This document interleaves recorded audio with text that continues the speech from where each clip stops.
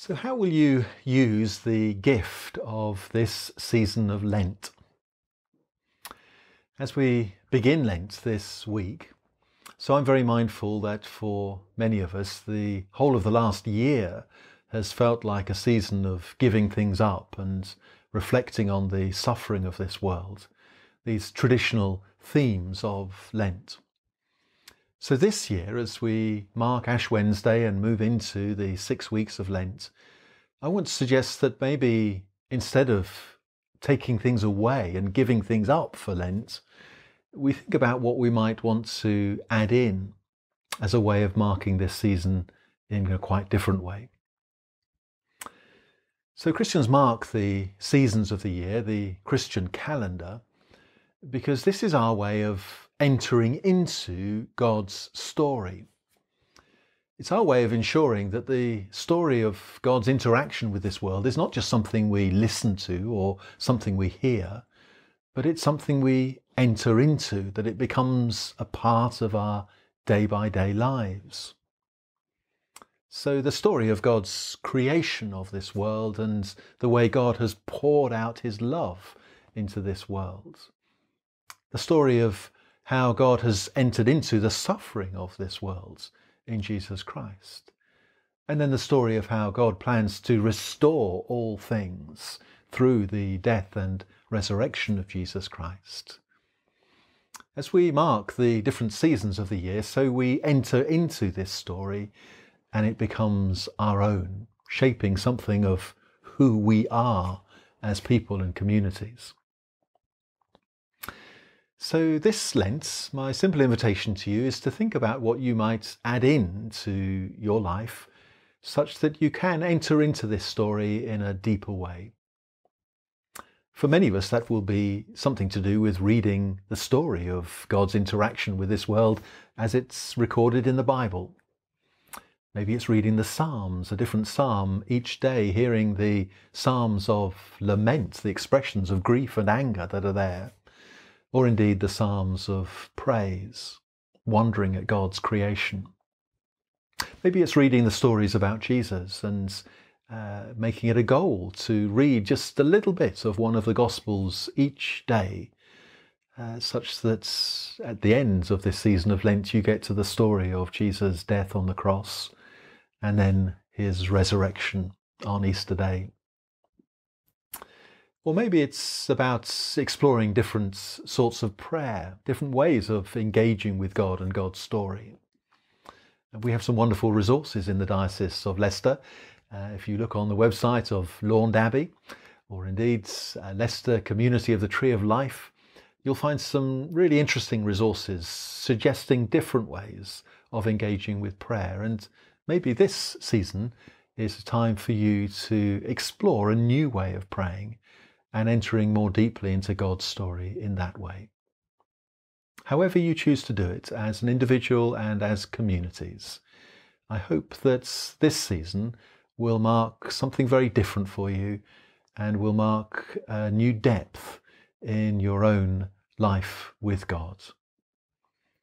And so I pray for you, wherever you are, that you would know God's pouring out his love on you, that you would know God's inviting you to enter more deeply into that love and into that story.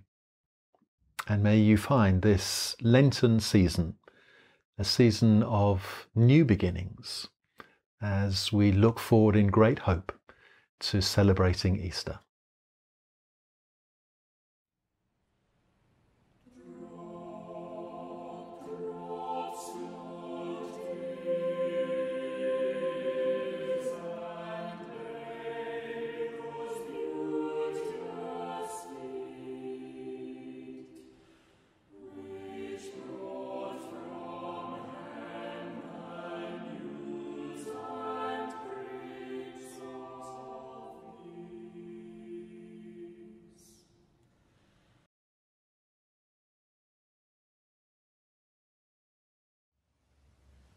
Good morning and welcome to this service on the first Sunday of Lent.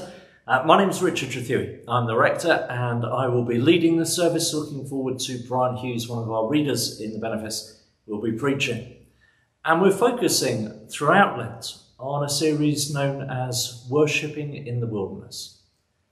A chance to explore how do we keep going with God? How do we keep trusting with God? How do we keep praying to God when things seem so tough and arid and barren in our lives? We're not the first people to be struggling with this question. The Israelites did as they went through the wilderness. Jesus spent his own time in the wilderness. And so now we come to God at a wilderness time of our own, longing for his help, for his refreshing, for his presence. So let's pray together. God of feasting and fasting, mountaintop and desert, you gather us together by your Holy Spirit. May we follow Jesus into the wilderness, feeding on your living bread and tasting your water of life. We come hungry and thirsty for more of you, God. Amen. And so, if you're splashing in streams of abundance, we welcome you. Share your joy. If you're parched in a desert wasteland, we welcome you. We share your doubts. If you're relaxing in the light of contentment, we welcome you. Share your peace. If you're stumbling on a road of suffering, we welcome you. Share your pain. God of water, earth, light, and brokenness, we welcome you as you welcome us in Jesus Christ. Amen.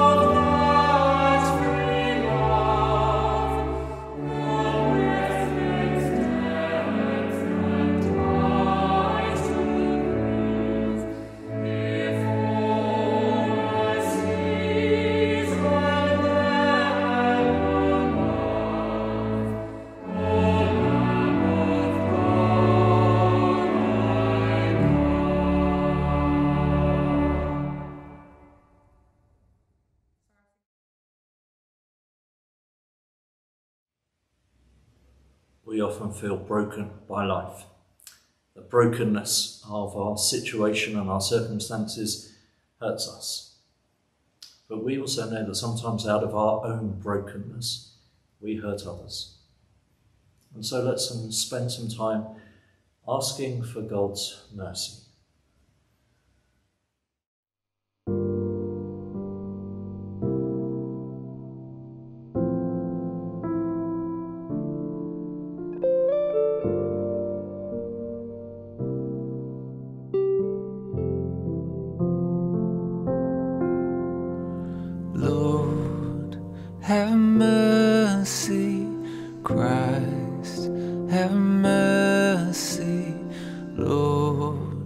Times when we've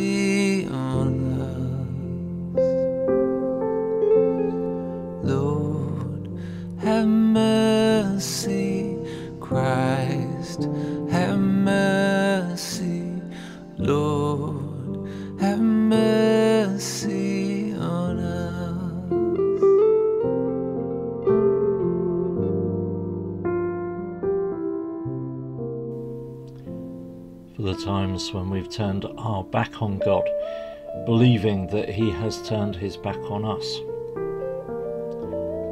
For the times when we've let our doubts overwhelm us rather than trusting in His love and faithfulness. For the times we've used the excuse of wilderness to go our own way.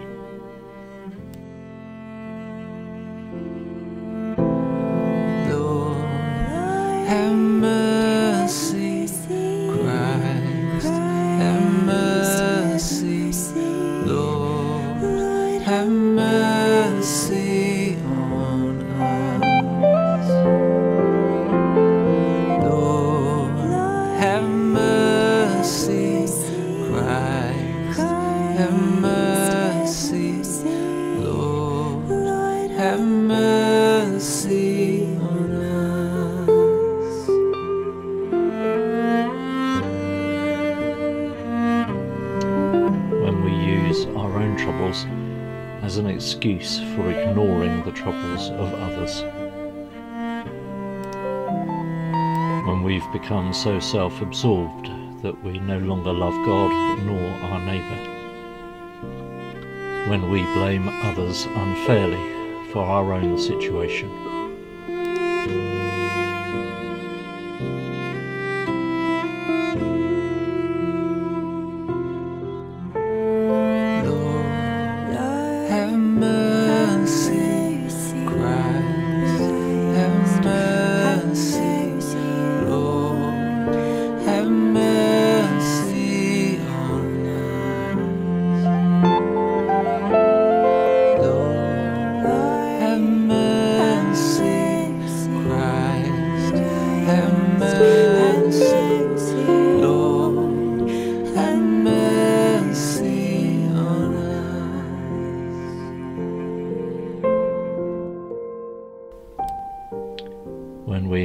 Acted out of jealousy or out of bitterness.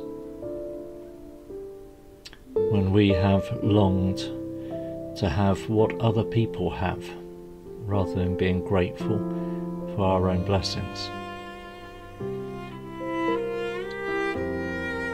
When we have sought to deprive others because we can't have ourselves.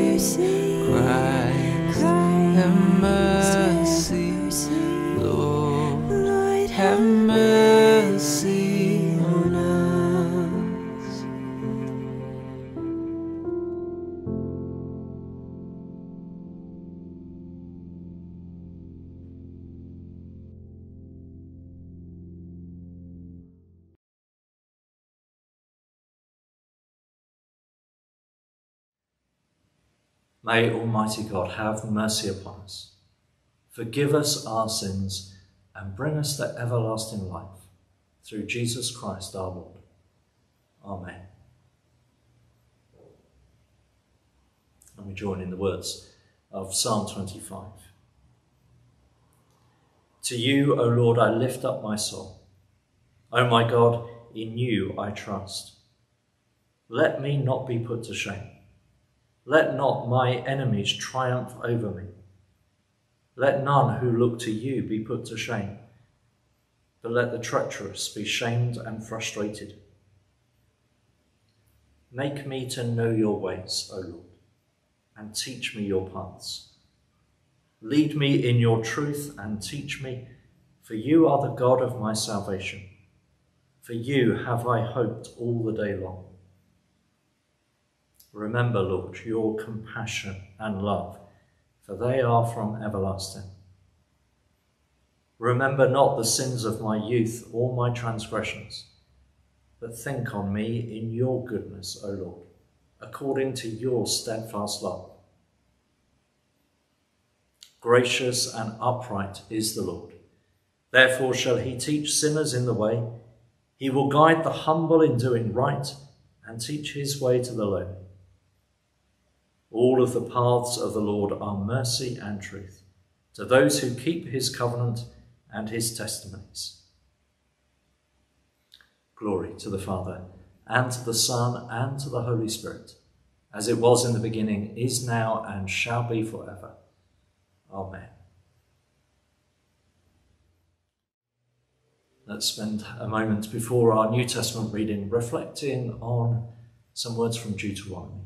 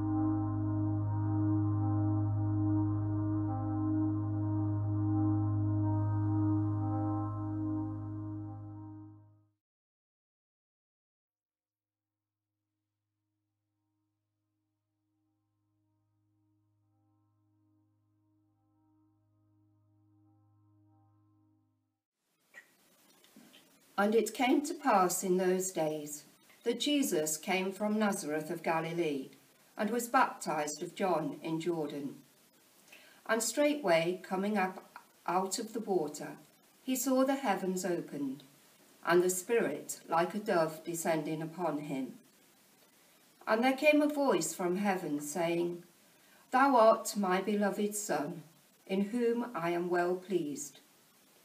And immediately the Spirit driveth him into the wilderness.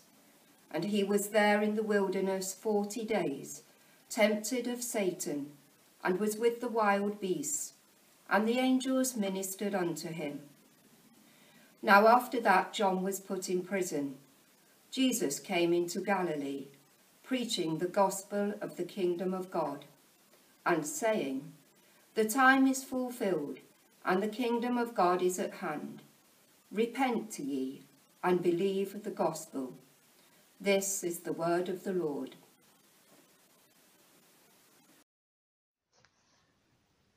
When I first looked at our reading for today, it struck me how much Mark had managed to pack into so few verses. Seven verses in total, and yet he managed to cover three major episodes of Jesus' life his baptism, his temptation in the wilderness, and the start of his ministry proclaiming the good news. Both Matthew and Luke go into a lot more detail in their Gospels, especially concerning Jesus' temptation in the wilderness, which is central to our teaching this morning and indeed throughout Lent.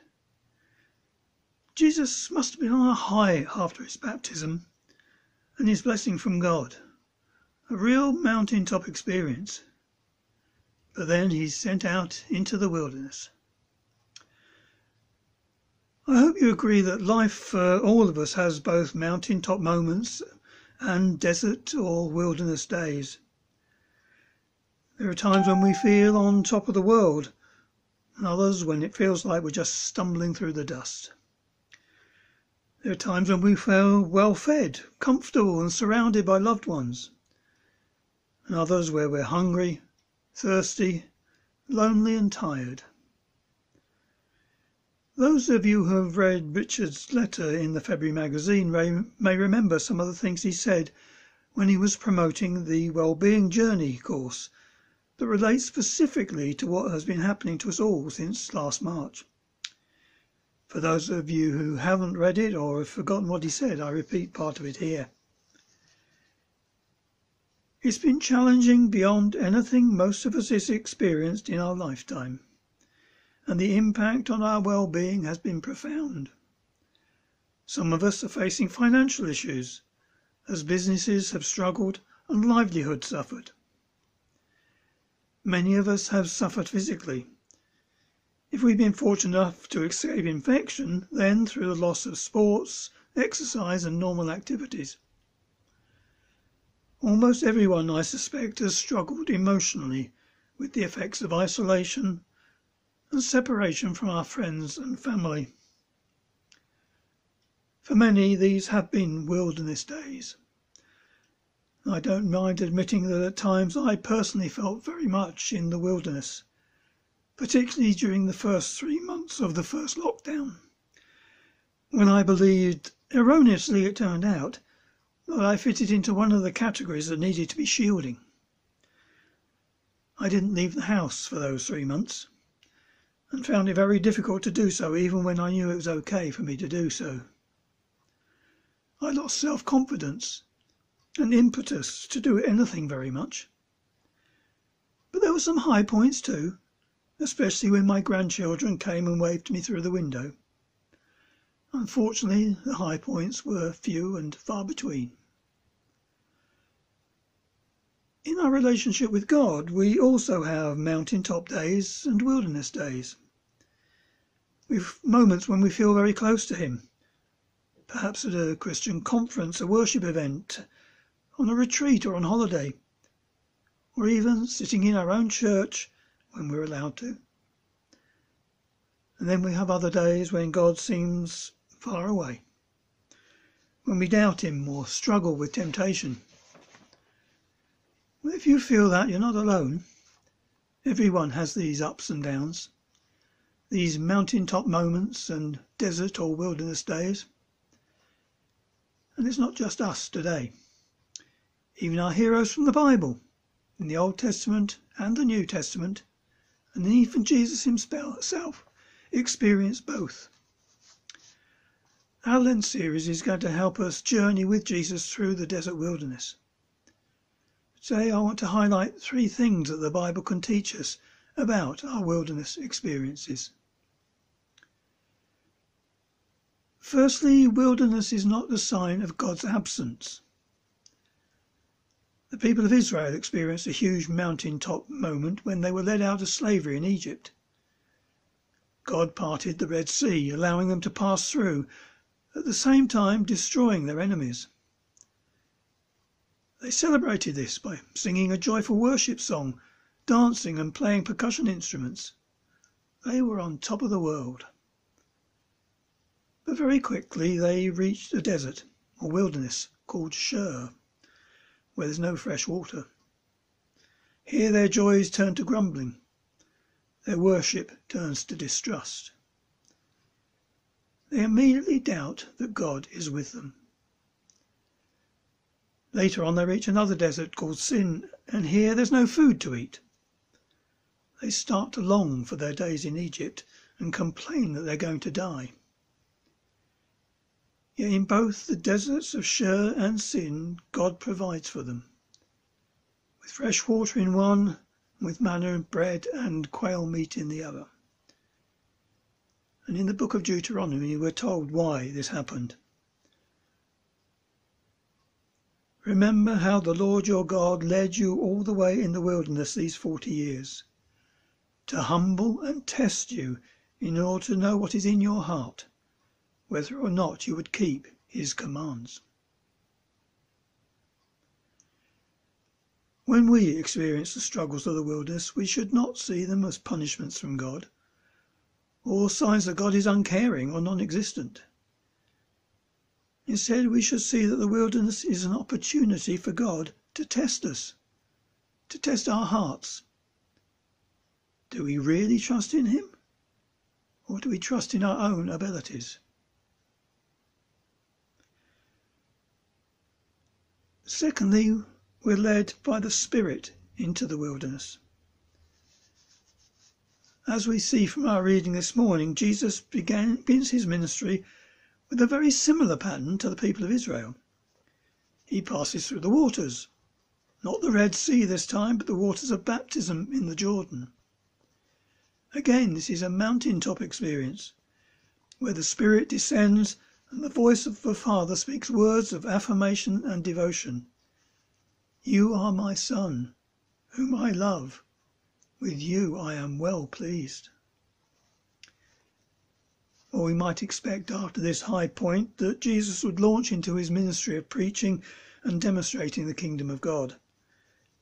Yet this is not what happens immediately. Like the people of Israel before him, Jesus goes from the waters to the wilderness, from spiritual feasting to the struggle of fasting, from affirmation to loneliness and temptation.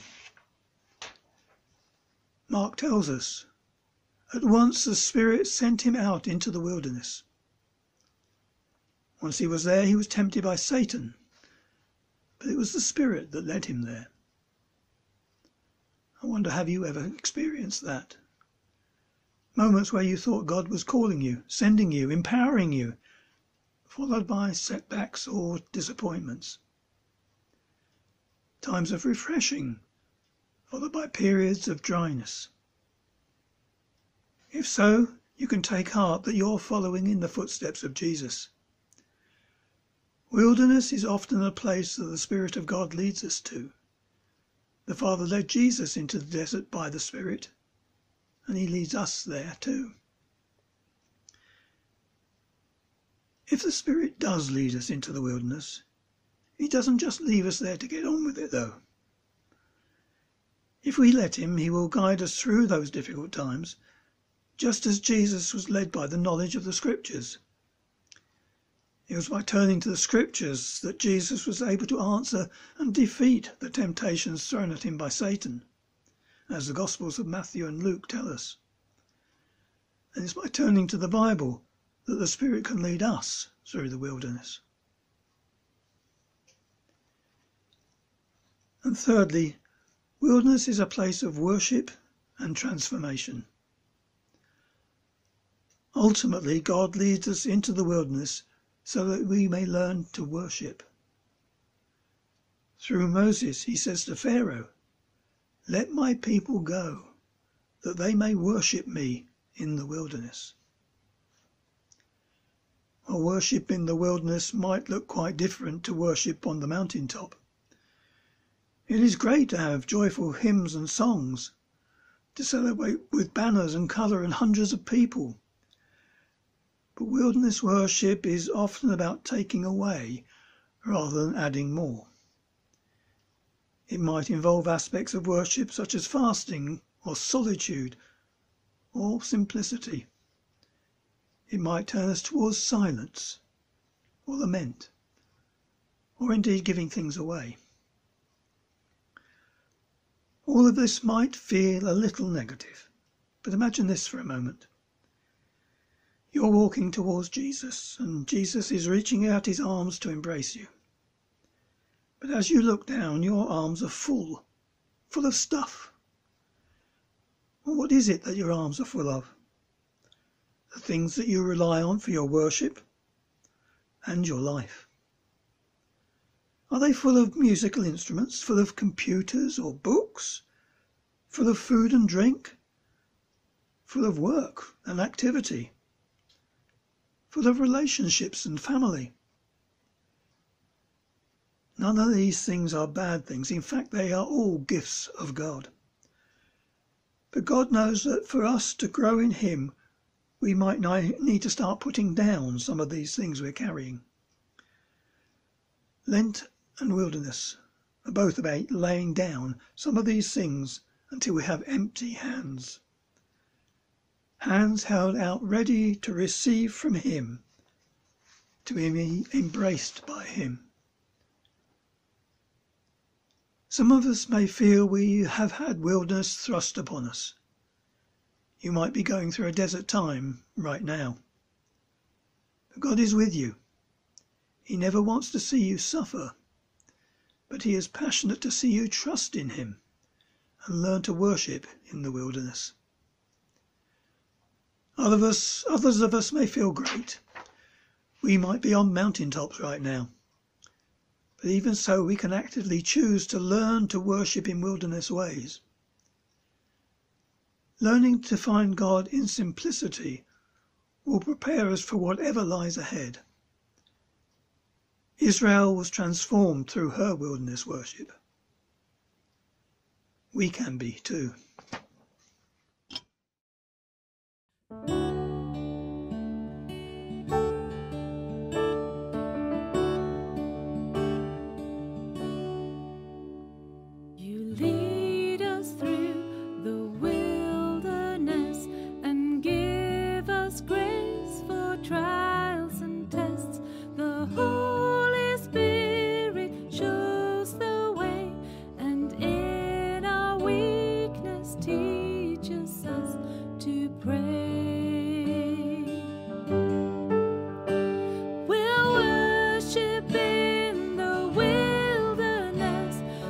drive.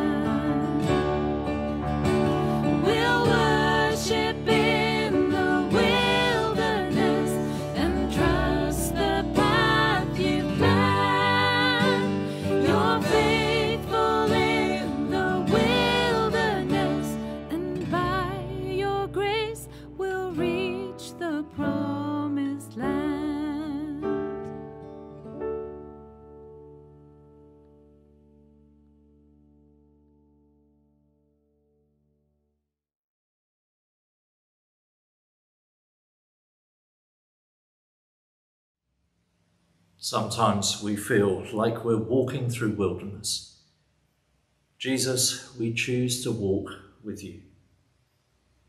When our spirits feel dry, help us trust in your spirit.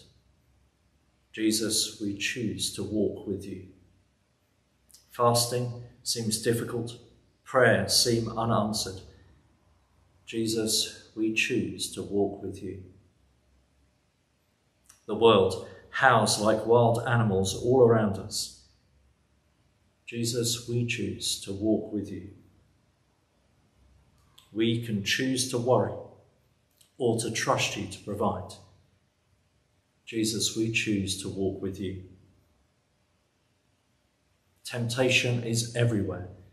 Doubts can overwhelm us. Jesus, we choose to walk with you. You know what it's like to walk through this desert. Jesus, we choose to walk with you. And you long to transform us with wilderness worship. Jesus, we choose to walk with you. Amen. God knows us and all that we are facing each day. We can come to Him in prayer and thanks, just as we are with our fears and concerns, our difficulties, challenges, and joys. We do that together now. Loving God, we pray for governments, national and international organisations working to control COVID and other diseases and situations that may harm. We pray for the people who work in health and social services in local government, and in businesses and charities, who contribute so much to our well-being in many ways. Through research and development, through production and distribution, in shops and services, through care and healing, through teaching and training, by comforting and supporting. Pray that we do all we can to reduce the spread of disease and help those who take risks each day to help us.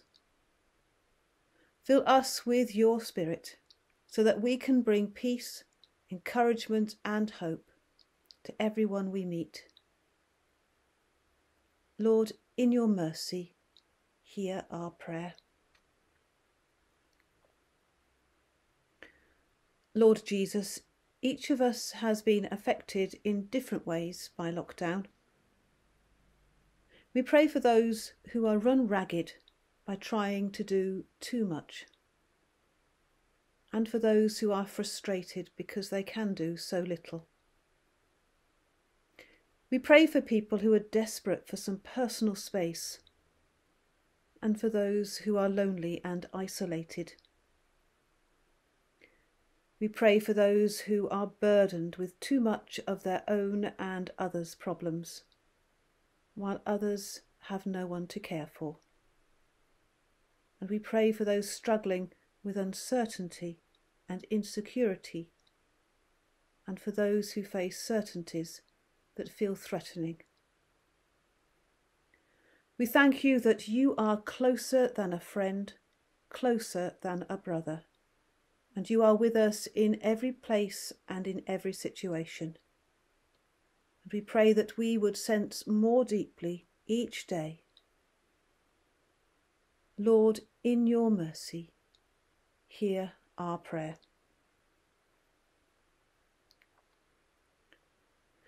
We pray for the churches of St. Peter's and at All Saints and others to which we may belong. Thank you for the good news we can share.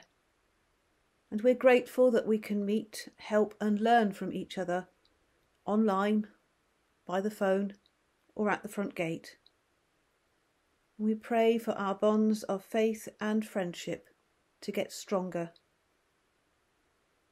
And we also pray for those who are stressed or sick, in pain or mourning. We pray for them quietly now.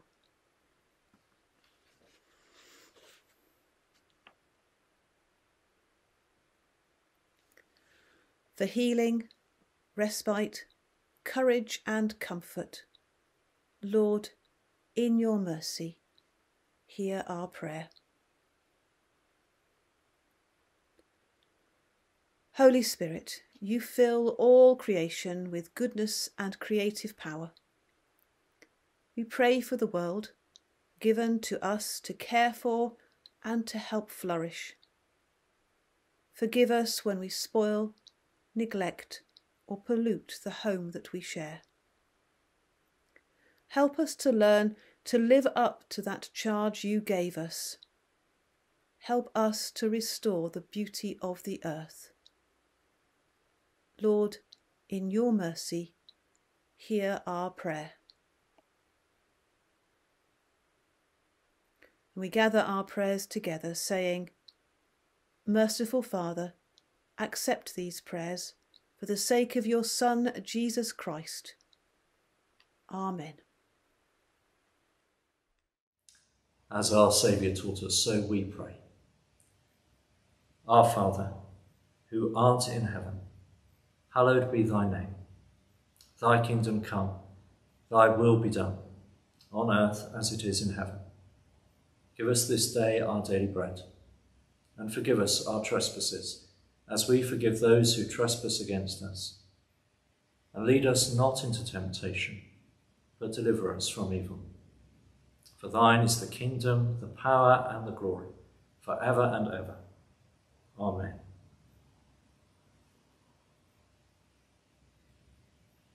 Heavenly Father, your Son battled with the powers of darkness and grew closer to you in the desert.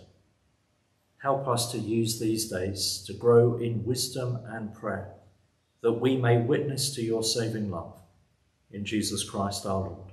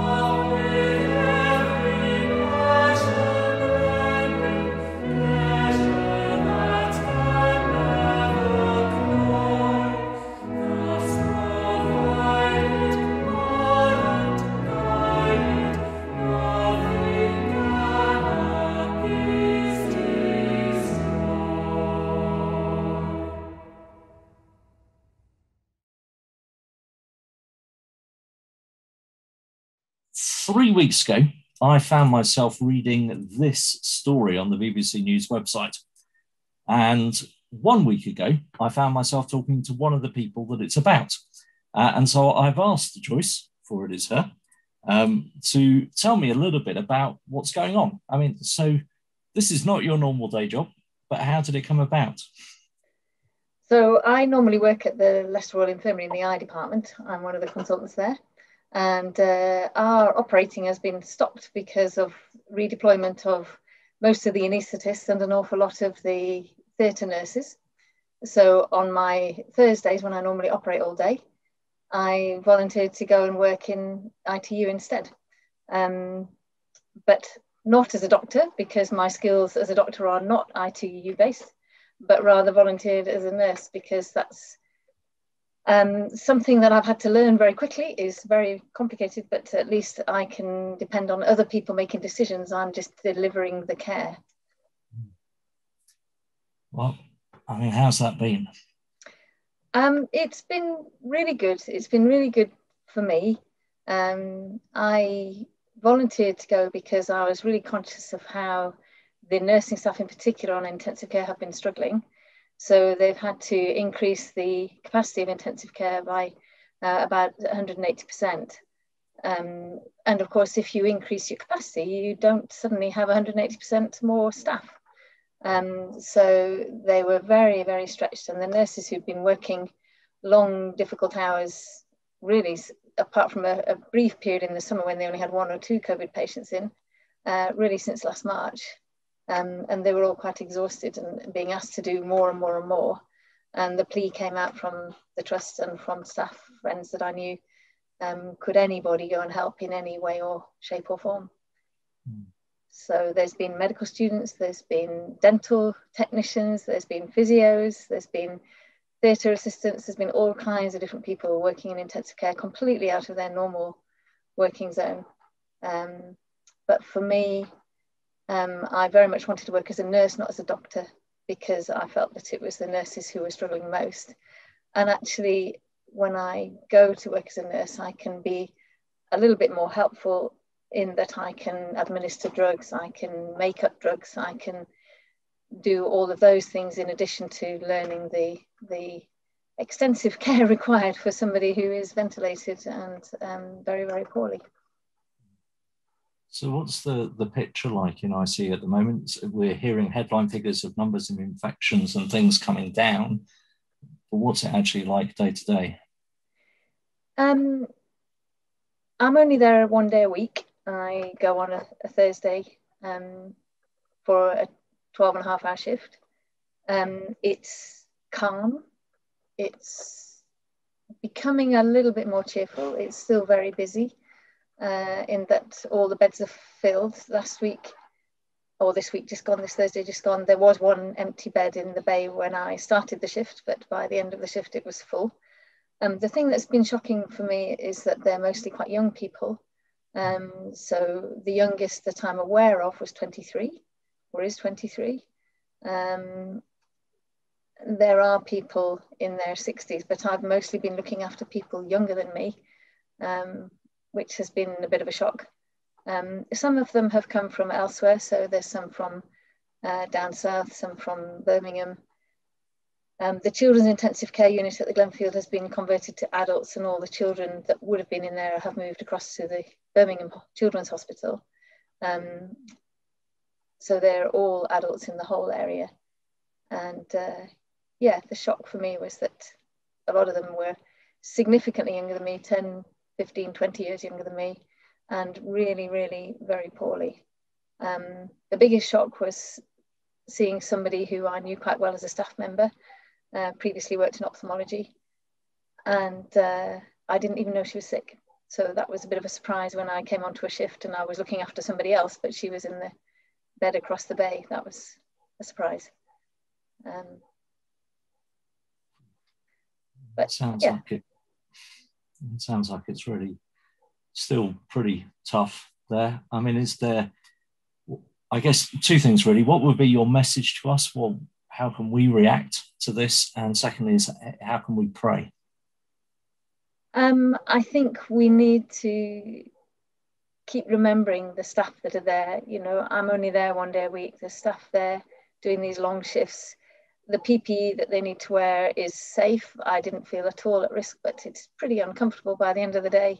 Um, the top of your nose or my nose is, is um, rather bruised from wearing the very tight mask. Um, I think the staff are amazing. They're so committed. They're so careful. They're so thorough. Um, that's been a real lesson to me um, I felt quite humbled to go and work alongside these nurses. Um, they've been very patient with people like me turning up and going, what do I do now? I don't know how to do this. Please show me. Um, I've tried very hard not to have to be shown too many times how to do stuff, but sometimes you just forget or you need to go and ask again to be sure. Mm. Um, I think their families have paid a bit of a price. I know certainly in the first wave, several of the staff moved out of their family homes so that they didn't put their families at risk. Um, one of the nurses I was talking to has a teenage daughter who's not coping well with online learning, but she's not been able to put the time in to support her like you might choose to do because she's busy working uh, on intensive care. And she says, oh, I'll just have to pick that one up when this is all over. That's a big ask for somebody. Um, the families are paying a price. And the other difficult thing is that in the past, the intensive care staff used to build a relationship with the families, the relatives of the patients they were looking after. People would come in and visit, they'd be able to talk to them and explain what was going on, and they would um, share all of that. That's not been possible. Um, there is a very good team, including one of my colleagues who are working to be the communicators with the families. They're giving daily updates, um, speaking to the family and helping them understand what's going on and what the progress is. Um, but I think that's extremely difficult for the families and it's extremely difficult for the nursing staff because they don't have that relationship, that way of building up a connection between the person in the bed and the life that they led before. Um, so that's quite hard. They do have iPads that they can do FaceTime. So the patients in the ITU get a FaceTime chat from their family if they wish. Um, some of them are well enough to respond and talk to the family. Some of them, the families are doing an amazing job just trying to be a familiar voice through what must be a very confusing state. Many of the patients that I looked after have been very sedated, they can't converse. But it's beautiful to see just a, a blink or a, a, smile or something as a response to a familiar voice. That's been great. Um, so yeah, praying for the families, I think, praying for the nursing staff, praying for the medical staff to make good and right decisions, praying for stamina, praying for hope. I think that there'll be people on intensive care for a lot longer than we are having to lock down. These people are going to take months and months to recover, and the recovery time, even when they move off intensive care, is quite prolonged. Um, but last Thursday, somebody left intensive care in a chair, not even on a bed, and that was fantastic. I was really excited to see that. So things are beginning to get better. The staff are beginning to feel a bit more hopeful, but this is still a very long journey, and they'll be still at it when the rest of us are feeling like life's a bit more normal. So I guess stamina, hope, faith, encouragement, all of those things, compassion you, Joyce. Let me pray briefly then. Uh, I really appreciate this this insight into, into what it's really like in there in, in ways that most of us don't really know, or kind of we're very focused on our own circumstances and situations. So let's just pray. Thank you. Thank you. Father, thank you for, for the people, the nurses and the staff who are working day by day in the ICU. Thank you for all these uh, other uh, medical staff who have volunteered to, to take on extra and additional and different roles during this current crisis. And Father, we do pray for stamina for all of them. We pray for wise decisions to be made. We pray for the families of both those who work and those who are um, being treated in the ICUs. And Lord, we pray for uh, recovery and hope. Maybe not tomorrow, but in the medium to long term for those who have been treated, that they would be able to be restored to normal life. Father, we pray this, knowing your goodness and your love. In Jesus' name, Amen. Thank you very much, Joyce. Our courses continue at the moment. Alpha on a Tuesday night, the Wellbeing Journey on a Wednesday evening. Uh, it's probably too late now to join either of those now that they've got established, but if you're interested, in knowing more about the Christian faith, or if you want to explore issues of well-being, then please do be in touch with me. Uh, we can still arrange something uh, to help you even now. As we go through Lent, we'll continue walking through the wilderness together, uh, and we will eventually, at the beginning of April, reach Easter. At the moment, we don't quite know what the circumstances are going to be. The roadmap is apparently being published tomorrow. A few hints and uh, rumours have been dropped over the last couple of days in the press, but we don't know for certain. And actually, we are still in Leicester and Leicestershire uh, relying very much on a lead from the local public health officials who have asked us, uh, even more than the, the national picture, to remain closed for communal worship at the moment.